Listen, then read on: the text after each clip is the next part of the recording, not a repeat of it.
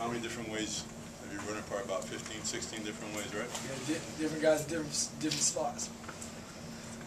And That uh, was the prettiest one of all, I think. when it came to that down to that replay, what was going through your guys' Well, we felt good about, it. because we have people upstairs to watch the replay, we felt good about it.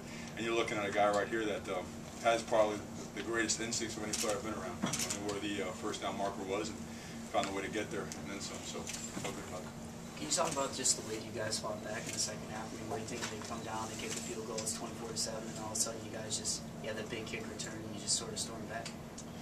I think, uh, I want to leave that question to these guys, so.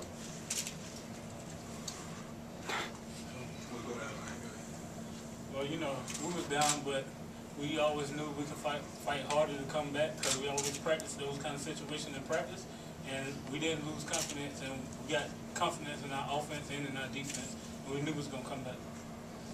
Anyway, we- you know, these guys, Jarvis brought up in the locker room, he said that we weren't playing FIU football at that moment, and uh, we have 30 minutes to do so, or it's a long plane ride back home. And uh, looking at a guy that was an all-conference defensive end, an all-conference running back player of the year in the conference, and every single one of them came up with one of their biggest performances. And uh, I think that's that's truly stepping up against adversity and, walking the walk.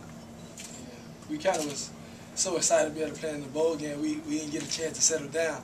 As we got in the second half, everybody Gator told the defense, man, we got to settle down. We got to start playing FIU football. And then Jarvis took over on the defensive side, and me and Toronto got an altercation. I said, Toronto, let's go, man. You, ain't- you ain't playing, you ain't playing linebacker how you supposed to play. it." He was like, Fo, I got you. As long as you got me. I said, watch me on this kickoff return. I, I went the distance. I love, I love it. I mean, I kick off return, I get a chance. I mean, play special teams and defense, and I love both of them. Just the aspect of being able to block that man right there and uh, watch him go all the way through to the end zone is beautiful.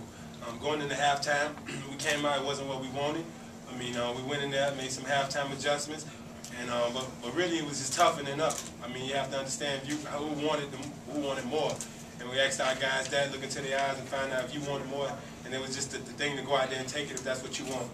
And I think we went out there, played, played hard, and played fast, and played some FIU football that I know we can play. I just uh, that's a, a tribute to all the coaches and all the players that dedicated that second half to come out there and not go home without a victory. Were you surprised